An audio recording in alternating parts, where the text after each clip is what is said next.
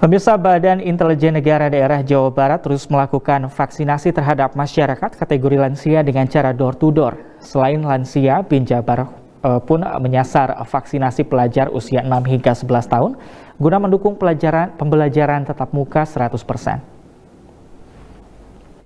Sebanyak 9.000 dosis vaksin diberikan Badan Intelijen Negara secara serempak di enam kota kabupaten di Jawa Barat. Kenam kota kabupaten tersebut meliputi Kabupaten Sukabumi sebanyak 3.000 dosis yang diberikan kepada lansia dengan cara door-to-door.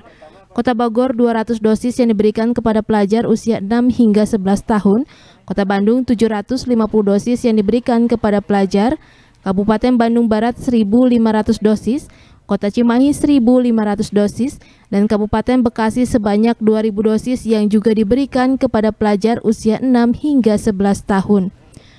Pemberian vaksinasi tersebut terus dilakukan Badan Intelijen Negara guna terus meningkatkan herd immunity masyarakat serta antisipasi penyebaran varian baru Omikron. Selain itu, pemberian vaksinasi kepada pelajar usia 6 hingga 11 tahun guna mendukung program pemerintah untuk menggelar pembelajaran tetap muka secara penuh 100%. Para guru pun menyambut positif pemberian vaksin terhadap pelajar, lantaran pihaknya berharap pembelajaran sekolah dapat kembali dilaksanakan secara normal. Telah melaksanakan vaksinasi COVID-19 untuk usia 6 sampai 11 tahun. Mudah-mudahan dengan